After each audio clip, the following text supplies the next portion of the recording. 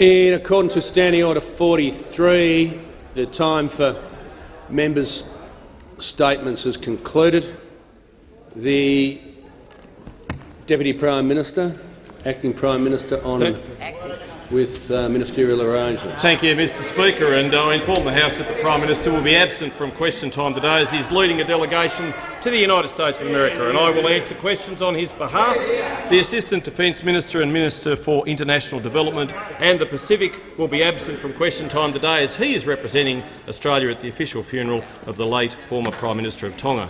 The Minister for Home Affairs will answer questions on his behalf. The Minister for Veterans Affairs uh, and Defence personnel will be absent from question time today as he is representing Australia in Timor-Leste. The Minister for Home Affairs will answer questions on his behalf, Mr Speaker. The Acting Prime Minister uh, has indicated to me has a statement on indulgence. The Acting Prime Minister.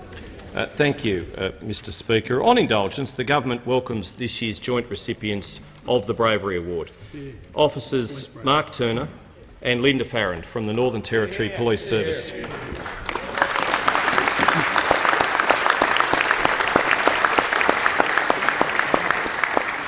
They have gone above and beyond in their everyday duties. They have put their lives on the line to protect a member of the community. They have demonstrated exceptional acts in exceptional circumstances. On behalf of all Australians, thank you for what you have done and what you will continue to do to protect our people, our communities. Today is National Thank a Cop Day, and, uh, Mr Speaker, on indulgence, I would like to acknowledge uh, all uh, serving and former police officers and those who've worn a uniform in any capacity. And uh, I would like to also acknowledge uh, those uh, former police officers who serve in our House of Representatives, including the member for Cowper, Dickson, Wide Bay, Latrobe and Richmond. Thank you, Mr Speaker. And on indulgence, the Leader of the Opposition. Thanks very much, Mr Speaker. I join with the Acting Prime Minister in acknowledging these great Australians who are with us in the gallery today. I had the opportunity earlier today to meet with Mark Turner and Linda Farrand and uh, to congratulate them personally on this wonderful achievement, people who put their lives on the line to save someone who felt that living was not an option. Can I say to them that, that your patience, your compassion and your sheer courage through that longest of nights saved a life. You embody not just the highest values that you can aspire to as police officers, but the highest values any of us can aspire to as human beings. I join with the Acting Prime Minister in uh, celebrating all of those who serve in our police forces around the nation and indeed also in our Australian Federal Police. Uh, we are about to celebrate the 30th uh, anniversary of Police Commemoration Day, remembering those who have lost their lives in the service of others. And we acknowledge the families who've been left behind and their friends. Uh, it is a great decision.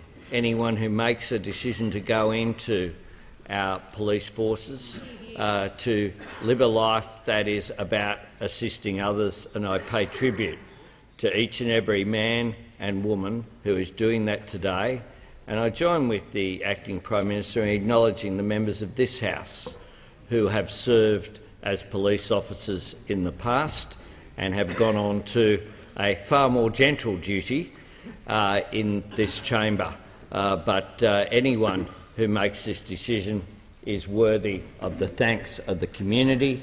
And on behalf of the Australian Labor Party, I join with the Acting Prime Minister to ensure that all those who serve know that this is an absolutely bipartisan commitment, indeed a commitment on behalf of every member of this House. And uh, let me associate myself with the remarks of the Acting Prime Minister and the Leader of the Opposition. And uh, to Mike and Linda who are with us today, uh, Mike and Linda who are with us today, thank you uh, so much for your service and for your bravery. Questions without notice. I think we know the member for Rankin has the first question. Thank you, Speaker. My question is to the Acting Prime Minister. What is the value of the underspend on the National Disability Insurance Scheme in the final budget outcome? The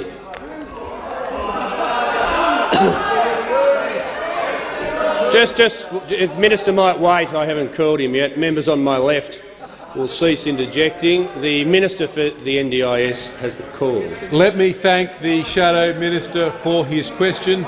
As he knows today, in the final budget update, the actual number for the NDIS was a spend of $8.5 billion. The great thing to remember about the NDIS, if we look at actually cost per participant, in the 18-19 budget, it was estimated an expenditure of $46,400 per participant. The actual amount spent per participant on supports was $46,800, a $400 increase. Not a single participant has seen a decrease. So the way we The explain the Minister underspend, I'm getting to it. I'm getting to the underspend. The underspend figure of $4.6 billion can be explained as follows. When the bilateral estimates were put together, the bilateral estimate said there'd be 302,172 Australians. Those bilateral Can the Minister estimates came from the a states and Can the Minister please pause? Minister doesn't have the call.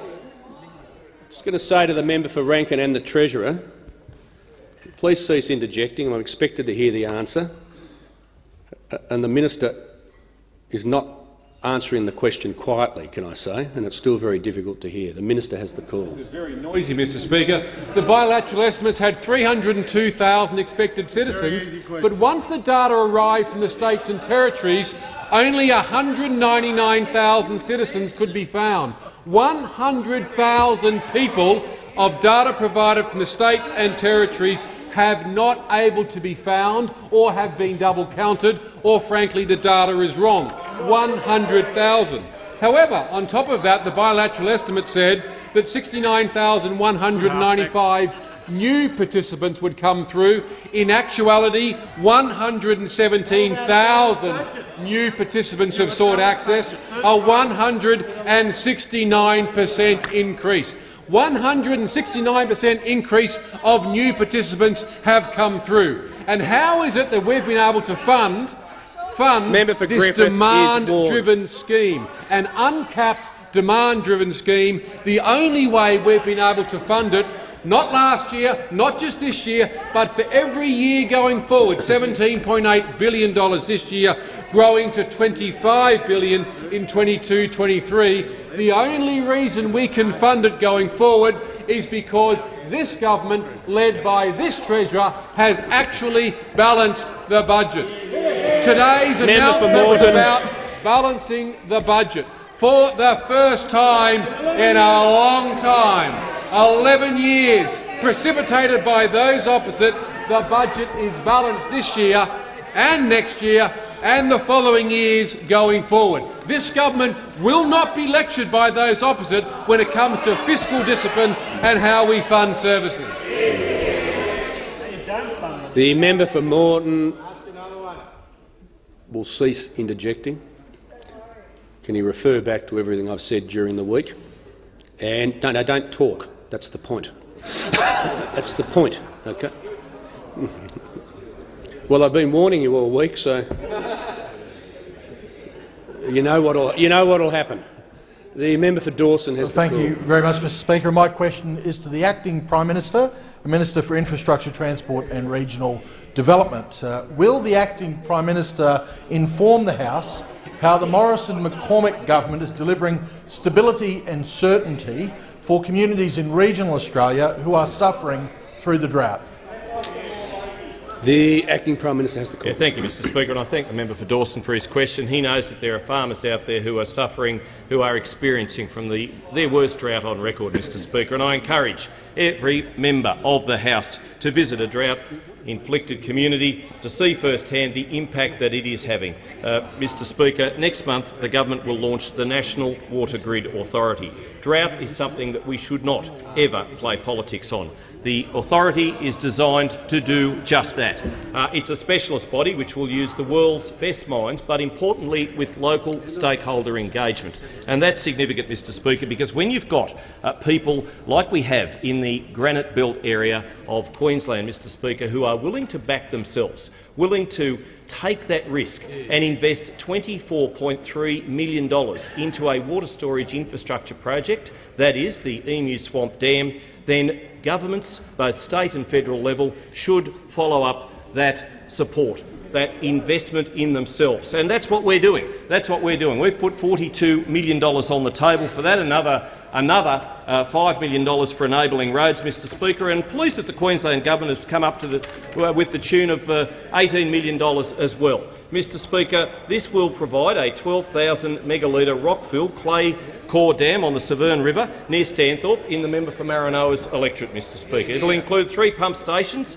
and a 117-kilometre pumped pipeline distribution network, and it's going to inject almost $70 million into the local economy. But most importantly, it will, will provide security and uh, certainty for our farmers, Mr Speaker. We want to see shovels in the ground very soon on that project. And I know that uh, the National Water Grid Authority is going to make such a difference. But we're already making a big difference in the area of water security. The Myalup Wellington project in Western Australia, backed by this government, Mr Speaker. We're already building, and it'll uh, be completed uh, this year, all things being equal, the Scottsdale irrigation scheme in Tasmania, Southwest Loddon pipeline in Victoria. I talked the other day about the Mitiamo uh, pipeline in Victoria as well, and the Northern Adelaide irrigation scheme in South Australia, where Penfield grower Daniel Hoffman told me that this investment means that some farms will save up to $60,000 per year. That's just on water. Previously, we could, uh, could uh, never afford to water into the summer. This means we can grow produce all year round. This is making such a difference for rural and regional Australia, particularly communities affected by drought. Uh, the Liberals and Nationals are delivering stability and certainty when it comes to the 8 million Australians who live in rural and regional Australia, who back themselves every day, and we're backing them as well. We're backing them through this drought, we're backing them for a better future, and we're doing it each and every day, Mr Speaker. It's good policy. the Deputy Leader of the Opposition. Thank you, uh, Mr Speaker. My question is to the Acting Prime Minister, and I refer to the minister's previous answer about demand in the National Disability Insurance Scheme. Is the government seriously suggesting that Australians with a disability aren't out there waiting for care packages? And is the government seriously suggesting the National Disability Insurance Scheme can adequately meet demand with a $4.6 billion underspend? The Acting Prime Minister has the call. Uh, thank you, Mr Speaker. Funding for the NDIS is guaranteed, Mr Absolutely. Speaker. No Australian, no Australian who is eligible for the NDIS will miss out. No Australian will miss out. And I, and I commend Can the uh, Minister Acting for Prime Minister, Acting Prime Minister, just pause for a second. The member for Griffith will leave under 94A. The Acting Prime Minister has the call. Uh, thank you, Mr Speaker. We are strongly committed to the NDIS. As I said, and as the Minister said in the first question in question time today, it is one of the most important social and economic reforms in our country's history. And, Mr Speaker, I'm proud to say that, uh, that when this reform was uh, suggested by Prime Minister Gillard, who is, who is actually in the House today, and I saw her this morning and I commended for the work that she is doing uh, with Beyond Blue and other organisations in her post-political career, Mr Speaker. Uh, she has been a class act I have to say, and this, is, this was good, good reform, Mr Speaker. I was proud to say that uh, I was the first New South Wales federal parliamentarian to sign up to the Everyone Counts uh, campaign, which was, uh, uh happened at the time that the NDIS was first mooted, Mr Speaker. Now, for the ma vast majority of the more than 300,000 participants, the NDIS is delivering improved levels of supports and more choice and control. Uh, over 100,000 people are receiving disability support services for the first time ever.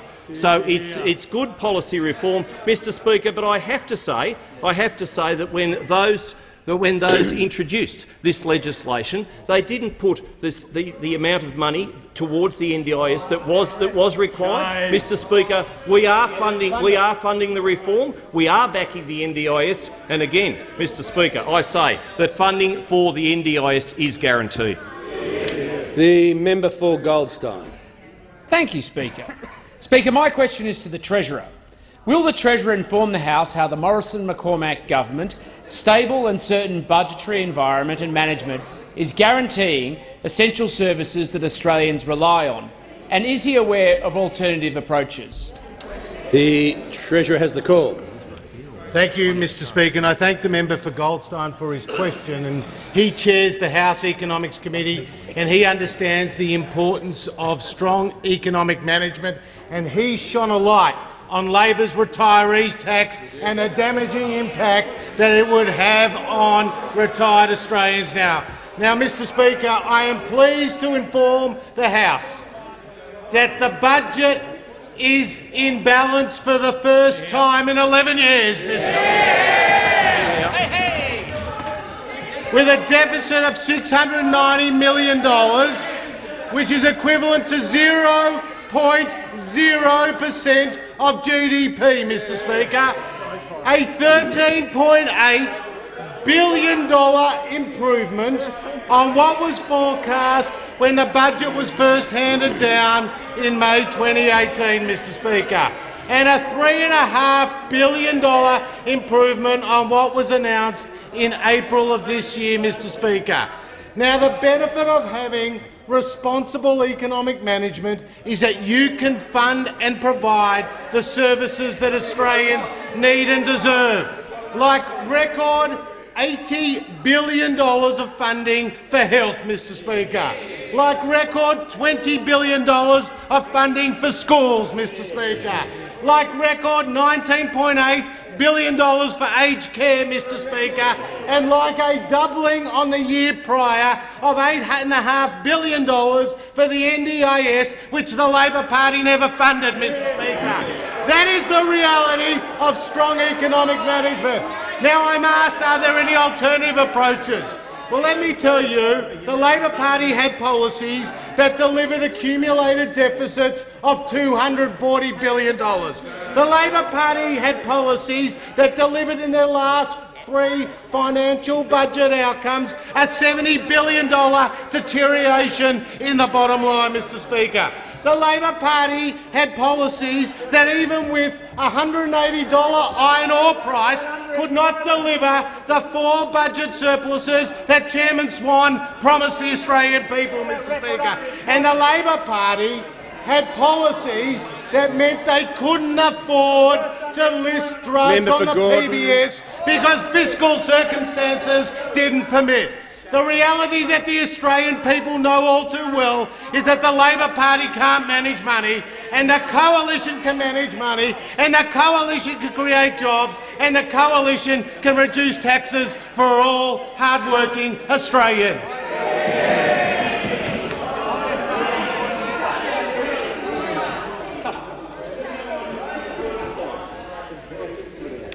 The Deputy Leader of the Opposition. Thank you, Mr Speaker. My question is to the Treasurer. Uh, will the Treasurer admit that the government's decision to understaff the National Disability Insurance Scheme is preventing Australians with a disability getting the care they need? Why has the government propped up its budget by deliberately underspending $4.6 billion on the National Disability Insurance Scheme?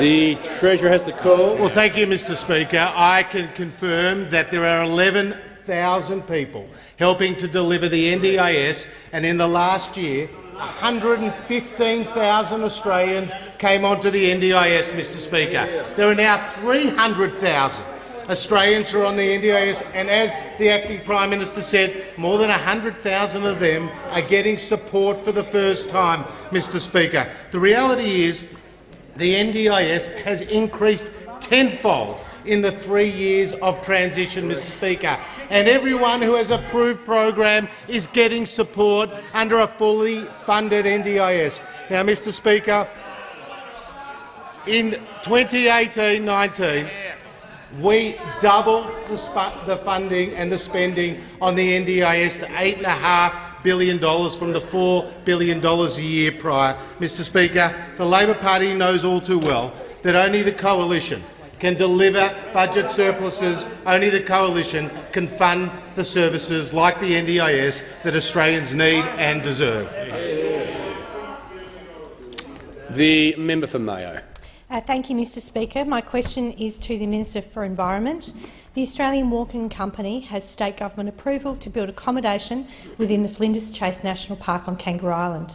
Development will clear several kilometres of remnant native vegetation in the national park. In your letter to me, dated 9th of September 2019, you advised that on the direct advice of the developer, you will not review the proposal despite broad community concerns of environmental damage. Minister, why are you only listening to the developer and not my community? And would you please reconsider investigating this proposal with respect to potential environmental damage in our national park? Good question. The Minister for the Environment. Well, I thank the member for Mayo for her question, and she's a frequent correspondent to me on matters of concern to her in her electorate of Mayo. And I'm always very happy, my door is always open for her to have further detailed conversations about matters such as this. The matter to which she refers relates to an application for a development which was deemed not to be controlled under the federal government's EPBC Act. Now, the process and methodology whereby actions are referred is well understood, long-standing, and I know that the member for Mayo understands it well. I want to make the point, Mr Speaker, through you to the member for Mayo, that state governments have completely different approval processes, mm -hmm. and sometimes people confuse the two, and reasons why they may not want to see a development are actually not matters of national environmental significance under federal law, but they relate to some totally different set of arrangements and approvals that belong in the state jurisdiction.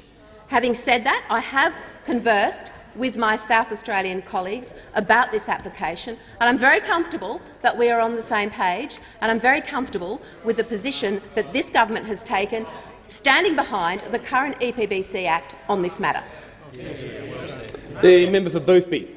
Yeah. Thank you, Mr Speaker. Mr Speaker, my question is to the Treasurer.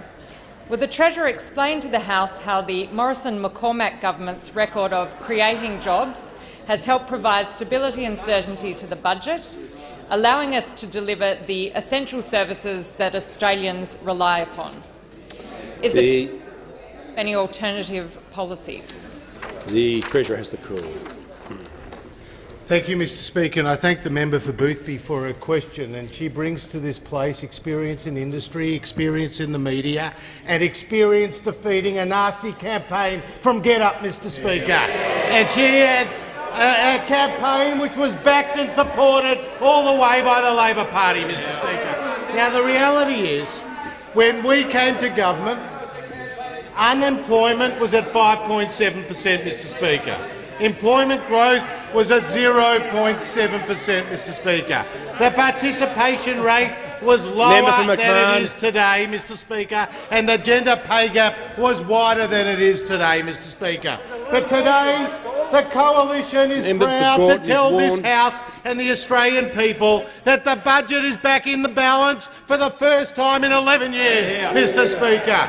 And 300,000 people got a job in 2018-19, Mr Speaker.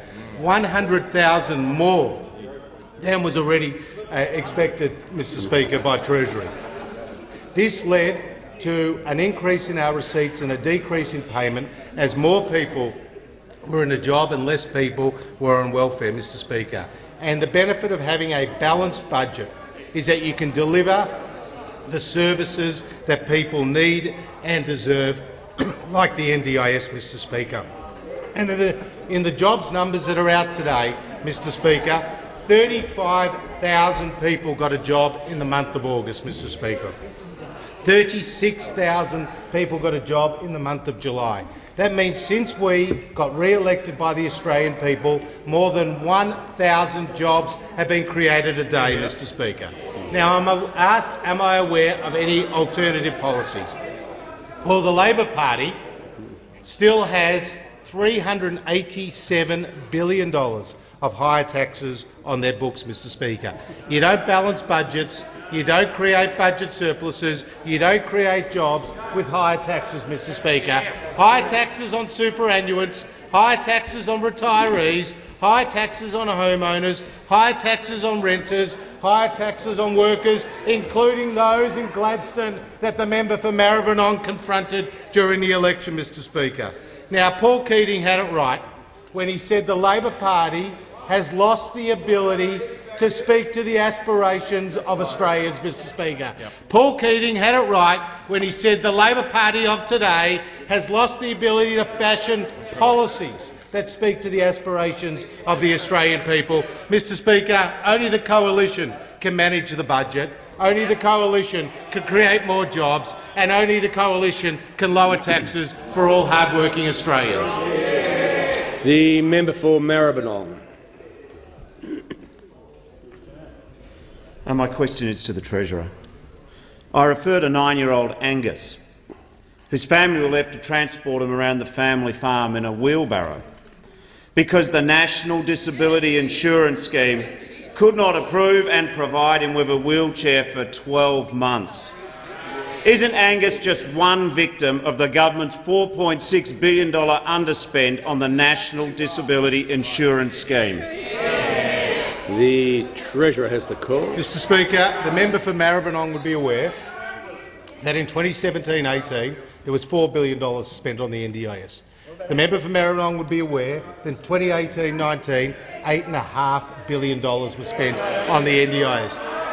The member for Maribyrnong would be aware excuse me, the member for Maribyrnong would be aware that everybody who has an approved program within the NDIS is fully funded by this government, Mr Speaker. And the member for Maribyrnong would be aware that there are now 300,000 people in the NDIS, over 100,000 of whom are getting support for the first time as Speaker. 115,000 people came on to the NDIS in the last year alone. Now, the member for Maribyrnong would also be aware, as a former leader of the opposition, just like the member for Rankin would know when he was learning at the feet of Chairman Swan, Mr Speaker, that the NDIS is a demand-driven program, Mr Speaker. Just like just like hospitals are, Mr Speaker, and as I announced in April of this year, an extra $1.9 billion for hospital funding because of the demand. Just like the PBS, Mr Speaker, and in the numbers that were announced today, an extra $700 million for the PBS because it's a demand-driven program. But what is an inconvenient truth for the Labor Party is that in their last budget, they had underspends of $500 million for carers and $400 million for veterans, Mr Speaker. In their last MYEFO, they had underspends of $1.5 billion for schools and $1.5 billion for hospitals, Mr Speaker. The reality is the NDIS funding has more than doubled, more than doubled on our watch, Mr Speaker. It's rolling out to nearly 500,000 people and everyone who has an approved plan will get fully funded by this government. Just before I call the member for Robertson, I'd like to inform the House we also have present in the gallery this afternoon the South African High Commissioner. On behalf of the House, extend a very warm welcome to you. The member for Robertson. Thank you, Mr Speaker. And my question is to the Minister for Industry, Science and Technology. Will the minister update the House on how the Morrison-McCormack government's stable and certain approach is encouraging the study of STEM, or science, technology, engineering and maths, in schools to ensure that we have the skilled workforce our businesses need in the future, especially apprentice apprentices in regional Australia? The Minister for Industry, Science and Technology. Uh, thank you, Mr Speaker, and I thank the member for her question. And like all of us on this side of the chamber, just, just ask the minister the member to, to pause. The member for Gorton has been warned. The minister has the call. Thank you, um, Mr Speaker. And everyone on this side of the House here understands and recognises that the future of Australian industry depends on having the skilled workforce of the future. Now, we understand that STEM skills will be required by about 75 per cent of the jobs of the future, and many apprenticeships and vocational education courses require significant STEM components and STEM skills. This is particularly important in rural and regional yeah. Australia, where specialist mining, agriculture and space sector jobs are located. So the promotion of science and STEM, particularly in our rural and regional areas, is vital for our economy. So it was an absolute pleasure earlier this year to announce alongside the member for Robertson that the Fun of Science was going to be coming to Gosford and to Woy Woy in her electorate as part of the government's $8.9 million expansion of the Questacon Science Circus. And of course, Mr Speaker, last week we celebrated Science Week with close to 2,000 events across the nation and over 1 million Australians participating. And I do acknowledge the great work of Questacon and the corporate sponsors who join with the government in backing Science Week, because we understand how important it is to make sure that everyone is inspired about science, and particularly our young people are inspired about science. Now, Mr Speaker, let me say this, that as a declared fan, I really want to point out that there's been a heightened interest in STEM as a result of Australia's current bachelor being an astrophysicist. Now, reports this week suggested that there had been a significant increase in inquiries about the study of science and that Google searches for astrophysicists had gone through the roof. Now, Mr Speaker, I'm all for popular culture that gets people talking about science. And I do note, Mr Speaker, that one of the finalists vying for the Bachelor's Heart in the finale tonight is in fact a chemical engineer. Yeah. So I say go Chelsea. Now, for the sake of Australian industry, Mr Speaker, and for jobs across our nation, and particularly for our jobs in rural and regional Australia, I encourage all young Australians to consider their STEM options. And as the Bachelor said last night, science is sexy. Yeah. The member for Rankin. Thanks very much, Speaker. My question is to the Treasurer. Why won't the Treasurer admit that today's budget outcome would not be possible without making Australians with a disability wait for the care that they need and deserve and were promised so that he can add $4.6 billion to his budget bottom line. The Treasurer has the call. The member for Rice. Treasurer has the call. Because the member for Rankin's claim is not true. The member for Grey. Thank you very much, Mr Speaker. My question is to the Minister for Health, and uh, let me thank him for having a wonderful visit to Grey only a couple of weeks ago. Will the minister update the House on how the Morrison-McCormack government's stable and certain budget enables critical investment in health services in rural and remote Australia, including in my electorate of Grey? The Minister for Health. Uh, thank you very much, Mr Speaker, and uh, I'm delighted, uh, along with the member for Grey, to be a member of the Morrison, McCormack and Frydenberg government on the day, on the day that the first balanced budget has been delivered in 11 years. And as the great Peter Costello said, every year of Labor government needs at least two years of coalition government to repair it. And we are only halfway there to repairing the damage, and then beyond that there's a lot more to be done. But most significantly, as the member for Grey indicates, and as we saw on the visit to his electorate, we have been able, because of a strong budget position, to invest in rural and regional health services. In a previous life, he was the head, he was the chair of the local Kimba Hospital. And uh, I was able to visit in Kimba with him at the hospital, and what we were able to see is the sort of thing that we are investing in as a government. In particular, one of the things which uh, many members of his community raised was the need for access to clinical trials in rural and regional Australia. Clinical trials that give us access to immunotherapies uh, to breakthrough medicines such as uh, Spinraza for spinal muscular atrophy uh, or other extraordinary developments. And I am delighted that we will be able to deliver, because of the strength of the budget, a $100 million rural and regional clinical trials program. And that will go around the country, and that will give people in rural and regional Australia access to new medicines at an earlier time that they would otherwise never have been able to have accessed. In addition to that, there's a $63.4 million regional, uh, regional radiotherapy program, and that's about ensuring that in 13 sites across regional Australia, patients with cancer will have access to new radiotherapy which would otherwise not have been within uh, the reach of their homes. And that will mean patients have better access, earlier treatment, and sometimes patients who might not have sought that treatment will be able to get it. It makes a profound and important difference. In addition to that, the investment in headspace around the country with 30 new headspaces will make a difference to young Australians in rural and regional Australia. We know that the Port Lincoln satellite uh, for Headspace is coming on and builds on the opening last April of the Whyalla Headspace in the members' electorate. But this matters to people on all sides. It builds as well on what we're doing with men's sheds. Over 1,000 men's sheds, almost 80 per cent in regional Australia, making a difference to people who otherwise might not seek that help. All of these things are only possible because we have a strong budget, a budget that is back in balance and a budget that is on its way to surplus.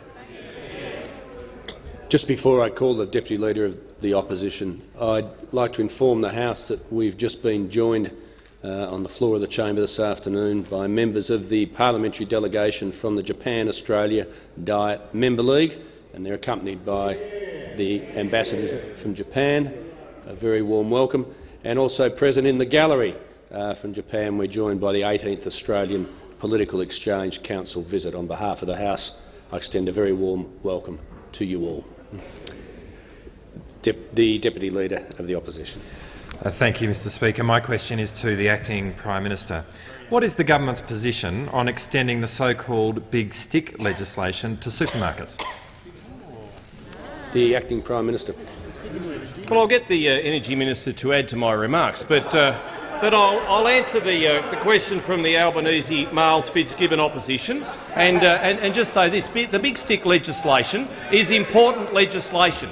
It is very important because what we want to do is make sure that we have the most reliable, affordable energy for Australians. And that's what we've always said and that's what we've certainly put in place. And that is why, uh, at large, energy prices are coming down. Under those opposite, Mr Speaker, I have to say that they couldn't even explain how much the energy costs were going to be for the average businesses, active, for average acting families. Prime Minister will resume his seat. The Manager of Opposition Business on a point of order. Yeah. Um, and it goes to the issue of direct relevance as to whether someone can simply react to a trigger word or whether they have to deal with the context of the question at all. The context of the question is entirely about whether or not that legislation should apply to supermarkets, and the Deputy Prime Minister is going, or the Acting Prime Minister is going nowhere near that issue. The Leader of the House. Well, Mr Speaker, because there's no plan, the Deputy Prime Minister is speaking to the only part of the question he can intelligibly speak to, which is the big stick legislation in relation to energy. I will just... I don't know what it is about a certain group of members that find you know, it, the need to interject when both their Manager of Opposition Business and the Leader of the House have made points of order they're expecting me to rule on. it. No, I'll just I'll rule on the point of order first. Um, the question was very specific. It didn't um, contain a preamble. Uh, I was about to say to the Deputy Prime Minister, the Acting Prime Minister, yeah, of course he's entitled to a preamble on the issue, but uh, my, you know, I think that the scope, obviously, of a very specific question uh, is very limited in this respect. And the other thing I was going to say, I thought I heard um, the acting Prime Minister say he would at some point refer it to the Energy Minister. There's a difficulty with that unless he can convince me the Energy Minister is responsible for supermarkets. That's the problem. He can certainly refer it to a minister who has portfolio responsibility for that area.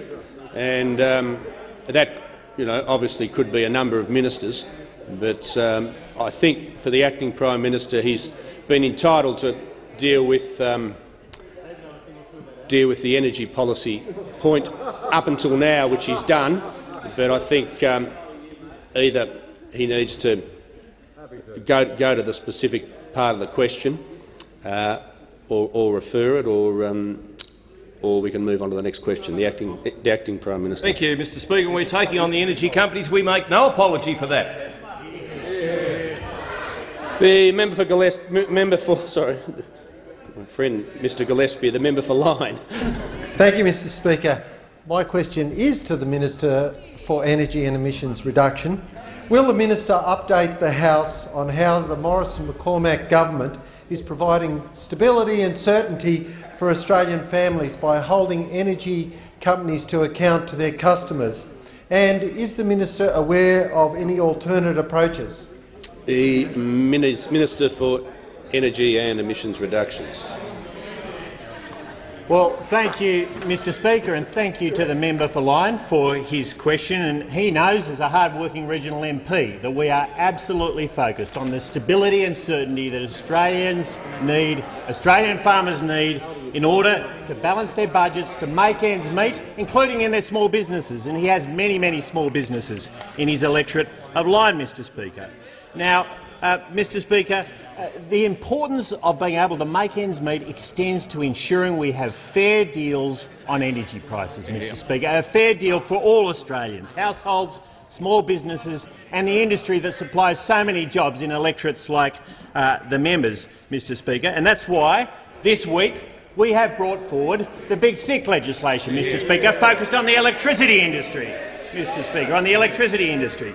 Uh, and it's important because it ensures that the big energy companies pass on savings to their customers, Mr Speaker. When there's savings in the wholesale market, they must pass those on to their customers, not pocketing the profits, Mr Speaker. And it also ensures, it also ensures that the unacceptable and unsustainable profits uh, and the unacceptable and unsustainable conduct that has occurred in the industry comes to an end. It ensures that action can be taken against fraudulent manipulation and distortion of electricity markets, Mr Speaker. But there are some risks, Mr Speaker. What are the risks? There are some risks. Those opposite have voted against this legislation 13 times in the previous parliament. They voted against lower electricity prices 13 times in the previous parliament, Mr Speaker. But now now they're all over the place. Are they for the 45 per cent emission reduction target or are they against it, Mr Speaker? Because the member for Maribyrnong says he's proud of a policy which 50 times he failed to explain during the last election campaign. Meanwhile, the member for Hindmarsh says they need an, a, a ruthless and unsparing review of those policies. Are they for coal or are they against coal, Mr Speaker? Because the Deputy Leader of the Opposition one moment was saying he wished the coal industry would come to an end and a moment later was saying he was tone deaf. And finally, are they for the big stick legislation, Mr Speaker, or are they against it? Mr Speaker, those opposite are all smear and no idea. The Leader of the Opposition. My question is to the person currently leading the McCormack government. What he, he wanted me to say that. No, the uh... the acting prime minister, Mr. Speaker. That's better. what is the government doing to ensure that journalism is not a crime? The acting prime minister has the call. Well, Mr. Mr. Speaker, um, as a, as a former journalist of 21 years standing, 11, 11 as, a, as a daily newspaper editor, Mr Speaker, uh, I, of course, uh, believe in the freedom of the press. The government is committed to the freedom of the press. Freedom of the press is central to our democracy, Mr Speaker. Always has been, is now, always will be. Uh, it's also the government's first duty to keep Australians safe. That's first priority, Mr Speaker, and these considerations have to be carefully balanced, Mr Speaker. the government has asked the Parliamentary Joint Committee on Intelligence and Security to inquire into the impact of the exercise of law enforcement and intelligence powers on the freedom of the press. And as the Attorney-General has just said, we thought that that was bipartisan. At the committee's request, and as agreed by the Attorney-General, the reporting date for this inquiry has been extended to 28 November. Now, the search warrants executed by the Australian Federal Police uh, to investigations under old laws that the Liberal Nationals government repealed and replaced with provisions that have strong protections for journalists. And as this matter is now before the courts, it would not be appropriate to comment further. But, Mr Speaker, operational decisions are a matter are a matter, as they have to be, for the AFP and are made independent of executive government. That's the way it should be uh, the warrants were executed without the knowledge or the instigation of any government minister. Well done. The member for Barker. Thank you, Mr Speaker. Mr Speaker, my question is to the Minister for Education. Will the minister update the House on how our coalition government is providing stability and certainty to regional communities by delivering quality regional education, including to my electorate of Barker? The Minister for Education. Thanks, Mr Speaker, and can I thank the member for Barker for his question. I know he's a passionate advocate for his electorate and for education, and in particular when it comes to regional study hubs. And it was wonderful to join him for the opening of the Barossa Regional Study Hub, and I know he's looking forward to opening another one next year, and we've also seen one at Murray Bridge open, so well done to the member for Barker. Mr Speaker, we are providing record investment into higher education, $17.7 billion this year, 18.2 billion next year, 18.8 billion the year after, and 19.1 billion in 2022. And the reason we can do this is because we've got the budget back in balance. And can I congratulate the Treasurer for his announcement today? We're heading towards surplus. Well done, Treasurer. Not only are we providing record investment, but there are 1.5 million students now enrolled in higher education. Now, what we've got to make sure is that all Australians can access higher education. And, Mr Speaker, recently I publicly released the National Regional Rural and Remote Tertiary Education Strategy, the Napthine review. Seven recommendations, 33 key action items. And what this, what this strategy seeks to do is change the discrepancy between those in city areas who access higher education and those in regional and rural areas who access higher education. If you're born in the city, you're twice as likely to get a higher education degree than if you are born in a regional or rural areas. We have to address this and the government has already begun addressing this. Since 2016, we have committed more than $500 million in new funding to improve regional higher education. This includes 39.2 million to establish 21 regional study hubs. We're also providing $53.9 million in income support to ease financial pressure on families. We've got support for regional students through the Rural and Regional Enterprise Scholarships and also 93.7 million for the Destination Australia program so that regional and rural Australians can capitalise on our international education market, a $35 billion market. We want to make sure that we can lift the attainment when it comes to regional and rural students. I know everyone is passionate about it on this side, and we want to improve it so we get better outcomes and results for country kids. The member for Ballarat. Thank you very much, Mr Speaker. My question is to the Acting Prime Minister. How many Urban Congestion Fund projects have commenced construction since the fund was created in May last year? Very precise question.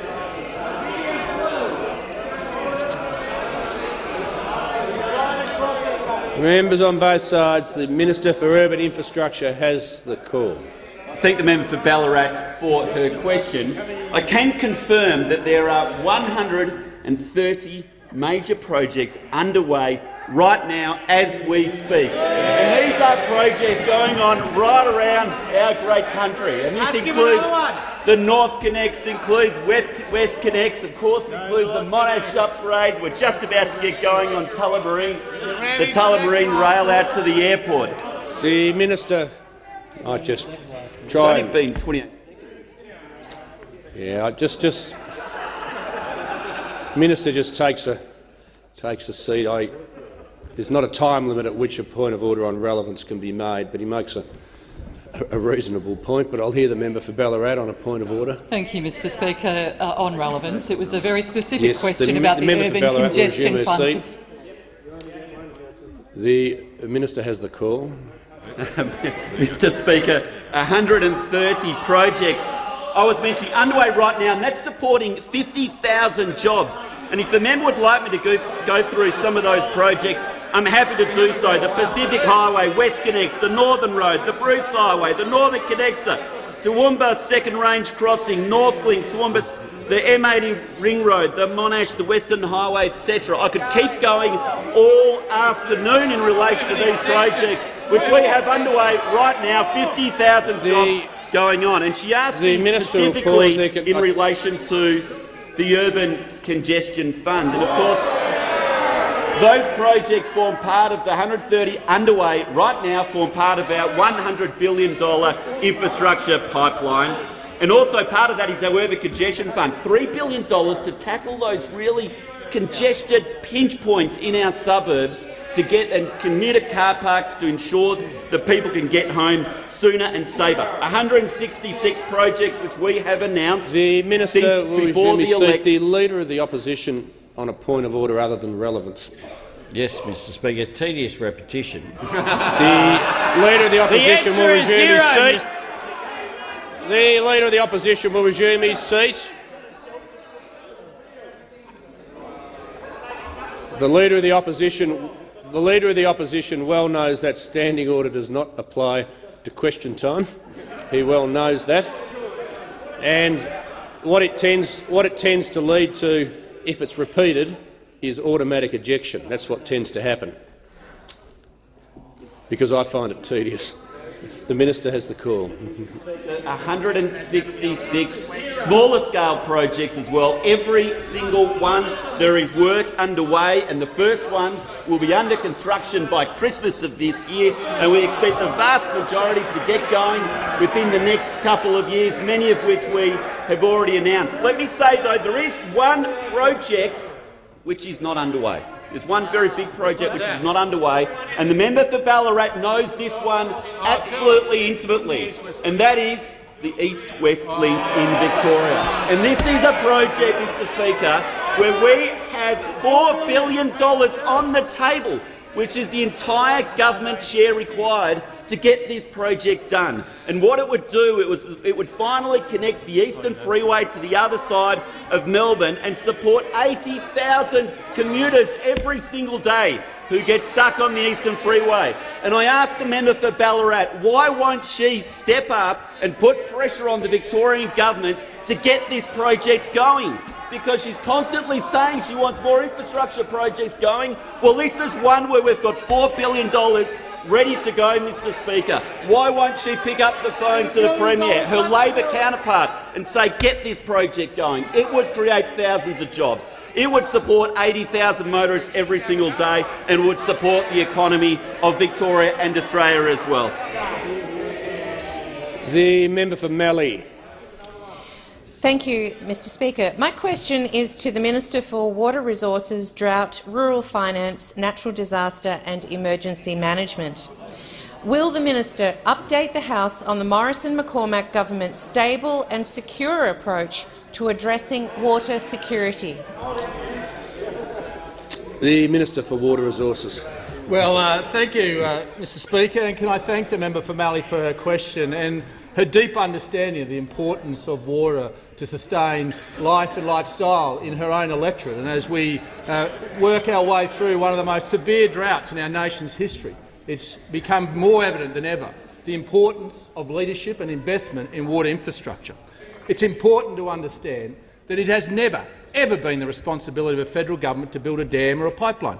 Since Federation, since Federation, Members on it has left. always been the ownership of the states. They have enjoyed, they have enjoyed the ownership of that resource. And sadly, over the last, since 2003, we have only seen 20 dams built in this country.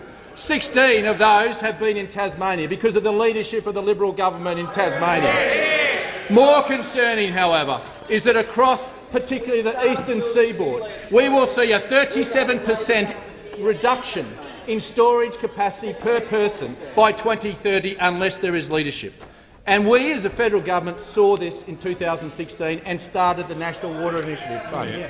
We put $800 million out and took that to 1.3 billion. Couple that with $2 billion from the Regional Investment Corporation, which those opposite voted against, I might add. And only, uh, only last week, the Deputy Prime Minister announced the National Water Grid because we, we needed to show the leadership to the nation that's required to build the water infrastructure to sustain life and lifestyle, not only in agriculture but in urban Australia. We had a critical junction. It took leadership to stand up and to stand with the states and say it is time to act and deliver. Yeah, yeah. Sadly, we saw Victoria today say we don't want to build a dam yeah. because we don't think it's ever going to rain again. Right. Well, now is the time to build the infrastructure when it's dry. It's important that the leadership is shown, and I can advise the House, Mr Speaker, that after the discussions with the New South Wales government this week, that we will be working with them in partnership to prioritise a number of projects right across New South Wales to give security to regional New South Wales residents, those that are facing, facing critical water storage levels and the Deputy Premier himself gave an undertaking that he is stand shoulder to shoulder with those communities to make sure they do not run out of water, but he has shown leadership with this federal government to say we will build the water infrastructure of the future, to future-proof the population growth, to future-proof our regional and economic growth. This is an important milestone in our nation's history that we now have leadership from states that are going to work shoulder to shoulder in sustaining this precious resource for our lifestyles and our lives. The member for Hunter. Thank you, Mr Speaker. My question is to the Deputy Prime Minister. Can he confirm that when in opposition, the coalition promised to build 100 dams, and in government, the member for New England promised dams just about everywhere? But in six years, the government has not built one dam. Isn't this because the Deputy Prime Minister has been bullied out of building any dams by his senior coalition partner. The acting Prime Minister. Let me tell you, Mr Speaker, uh, let me tell for the member for Hunters, I don't get bullied by anyone. No one. Members on my I'm left. not scared of you. I'm not scared of anyone, member for Hunter. And certainly, I'm actually pleased that I'm in a uh, coalition government where the Prime Minister actually also believes in building dams. And the Prime Ministers, the Liberal, the Liberal Prime Ministers have always, always believed in building dams. And that's why we're getting on and we're going to build a dam. We're going to build a dam. And we're going to do it with the Queensland Government. But we're going to do it also, we're also going to do it with the irrigators Dep of the, the Granite acting Belt. Prime Minister will just pause. Members on my left will cease interjecting. They're very noisy today, Mr Speaker. No, they can just. I'm, no, I haven't called you yet. The member for Hunter will contain himself, otherwise he'll be out of the chamber.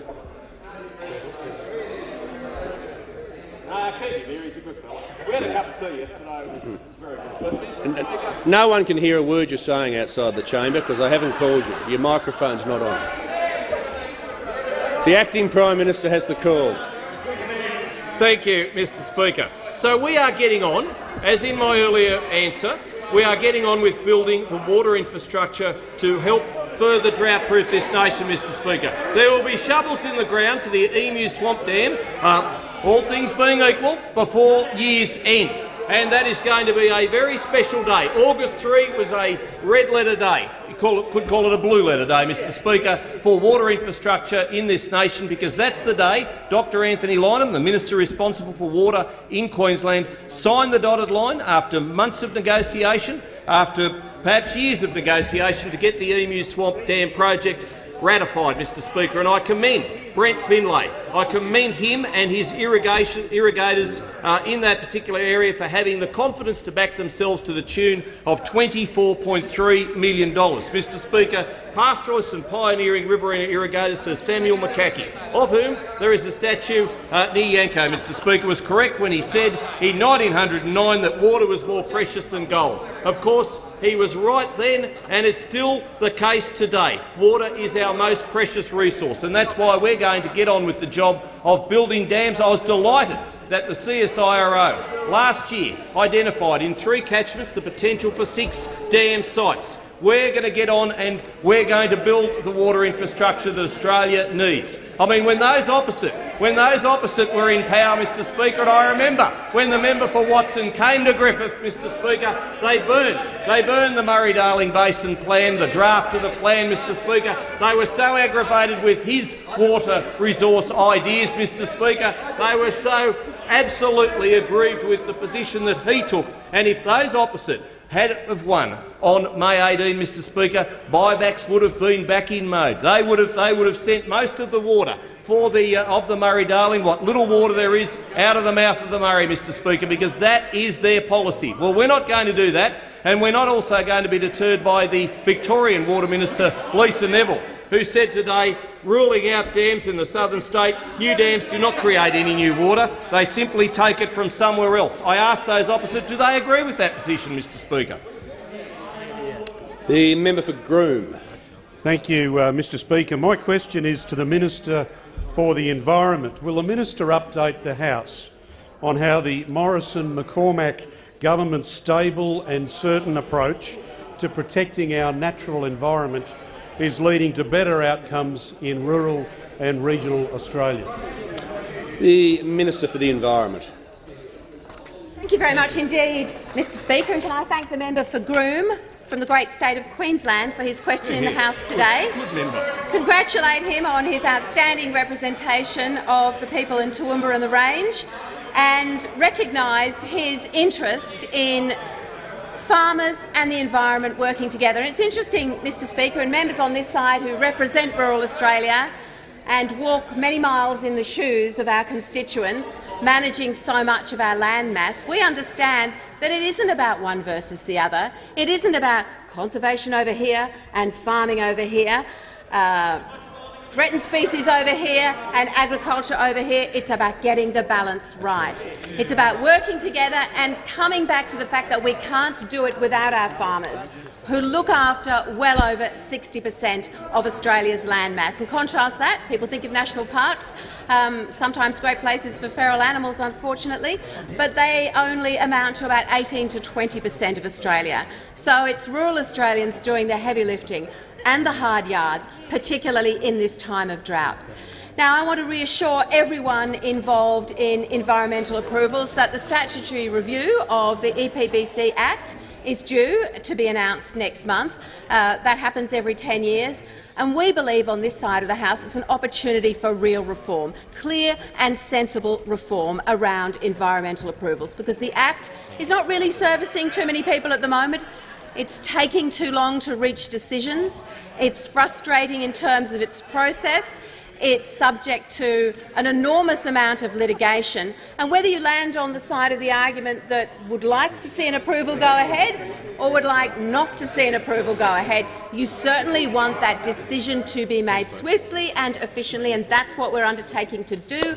We'll be announcing the review shortly. There'll be a lead reviewer, there'll be four panel members, one with expertise in agriculture, one in environmental law, one in Indigenous land management, and um, another from our natural resource agency. So this is a really important review and I know everyone will want to have a say on it. Now, yesterday, Mr Speaker, I wondered about the opposition's environment policy.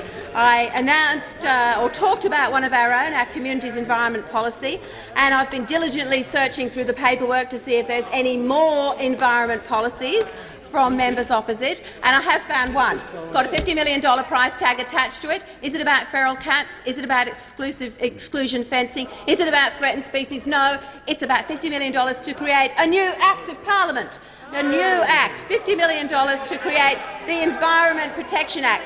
Well, I can tell members opposite that the work that we will be doing, the clear, sensible reform under the stability and certainty of this government, will not cost a single cent.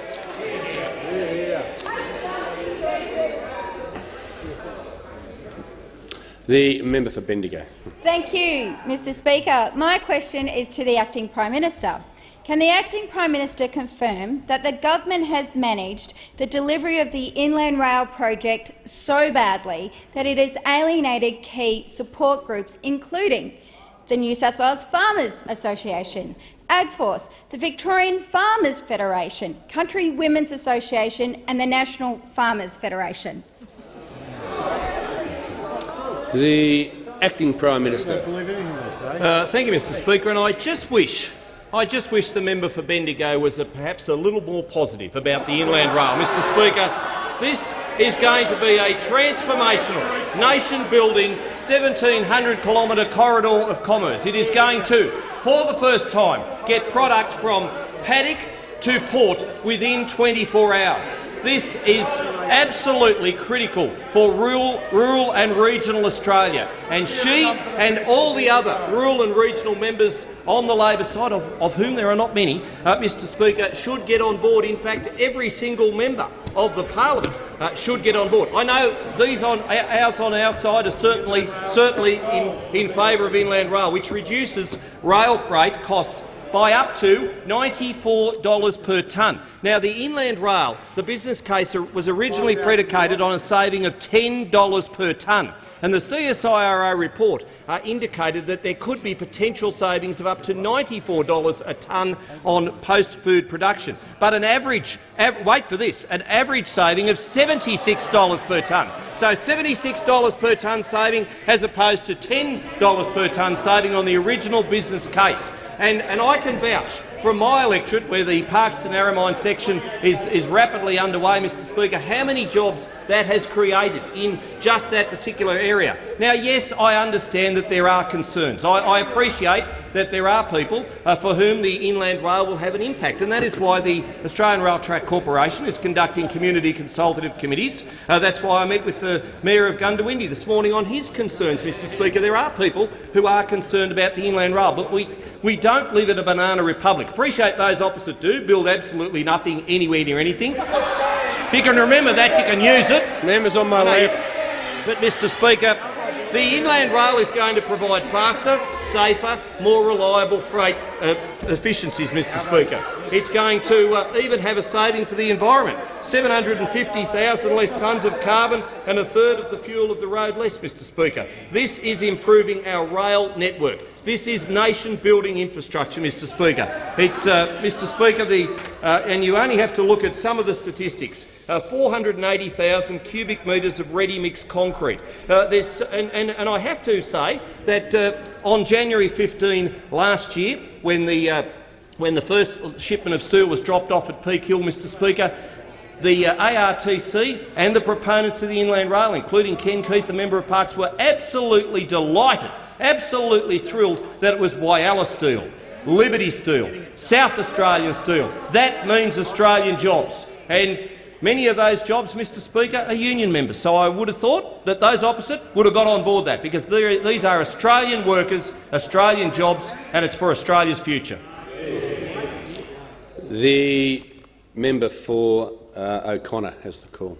Uh, thank you, Mr Speaker. My question is to the Minister for Immigration, Citizenship, Migrant Services and Multicultural Affairs. Will the minister update the House on how the Morrison-McCormack government's stable and certain immigration policies are supporting regional communities to fill crucial skills and workforce shortages and to grow regional economies? Is the minister aware of any alternative approaches? The Minister for Immigration. Well, uh, thank you, uh, thank you, uh, Mr. Speaker. I thank the member for his question. And it's a really good point that the member makes about the importance of stability and certainty, because stability and certainty, of course, is important across all government policies, but no more so in immigration, where it is so important that we have an orderly, stable and certain approach to immigration policy. Now, we run an immigration policy, Mr Speaker, which is sovereign, focused and fair. unlike those opposite who presided over the worst public policy failure in Australia's post-war history when they completely lost control of our immigration system, Mr Speaker, the extraordinary and appalling humanitarian catastrophe that we saw uh, under uh, those opposite, Mr Speaker. Now, Mr Speaker, our immigration program reflects the fact that different parts of Australia have different needs. And in this year's uh, program, we've had the uh, lowest number in the uh, permanent migration uh, program uh, for the last decade, Mr Speaker. And that's to reflect the fact that we have seen significant population pressures, particularly uh, in Sydney and Melbourne. So we have reduced the level of permanent migration in our nation. And in the year to come, we'll see a further reduction, uh, Mr Speaker, as we further reduce the cap to 160,000. But within that, Mr Speaker, what we will see is an increased focus on regional Australia. And in fact, in the year that just ended, we saw a 44 per cent increase in the regional sponsored migration scheme that puts regional uh, employers together with skilled migrants. And this year we've created 23,000 new visas for people who want to work hard, play by the rules, commit to regional Australia for at least three years, and then they'll be eligible for permanent residency, Mr Speaker. We've also created seven designated area migration agreements, or DAMA, DAMAs, including uh, with the, in the area of the member for O'Connor's uh, electorate uh, in the mining industry uh, and uh, in the member for uh, Wannon's electorate for the dairy industry, where there are so many local Uh, dairy uh, uh, families that do need support from the migration system to help them run their businesses so they can grow those businesses and support uh, more Australians, Deputy Speaker. We're also getting working holiday makers an incentive to commit to regional Australia because they'll get an additional year on their visa if they do so. And the same with international students. If they commit to regional Australia, they'll get an additional year on their postgraduate visa as well. Now, these are all very important initiatives. They're about backing regional Australia where migration is needed to help fill skills gaps, to help grow regional communities. And in our humanitarian program as well, Mr Speaker, we see that through great examples like the Yazidi community in uh, the Deputy Prime Minister's own electorate, which have added so much to our community. So across the board in our uh, migration program, Mr Speaker, we'll back regional Australia every step of the way. The Acting Prime Minister. Mr Speaker, I ask further questions of the Morrison-McCormack government to be placed on the notice paper. I thank the Acting Prime Minister. If members could just stay for a second, I've just got a couple of uh, short statements they'll be interested in. Um, the, James Rees, the current Secretary to the Joint Standing Committee on Foreign Affairs, Defence and Trade, will complete his final day uh, at work on the 11th of October before we resume back here. James commenced his public sector career with the Government Department of Aviation in 1980. He's retiring after serving a long and dedicated career of 39 years in the public service, including the past 28 years here with the Department of the House of Representatives. Since commencing work at Parliament in the Bills and Papers Office in 1991, he's progressed through various roles, dividing his years of service almost equally uh, between various chamber support and committee support offices, with approximately 14 years in each. For those members who've not worked with James on committees, he would be known to you from his role as clerk at the table in the Federation Chamber, deputy clerk at the table here in the House Chamber. And I'm sure all members would like to join with me in thanking James and recognising his service uh, to the House, its members and committees, and wish him a very long, healthy retirement. And James is with us in the gallery today.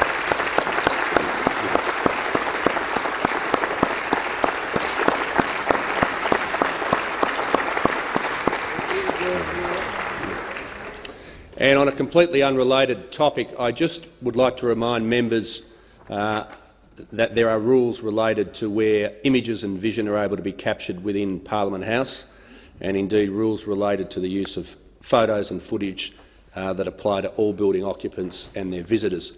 Uh, the media rules include a prohibition on photography and filming in the private areas of Parliament House, including but not limited to uh, the chambers and adjacent lobbies, security screening areas, uh, the staff and members' dining rooms, Aussies, and the corridor and linkways and other private uh, corridor areas.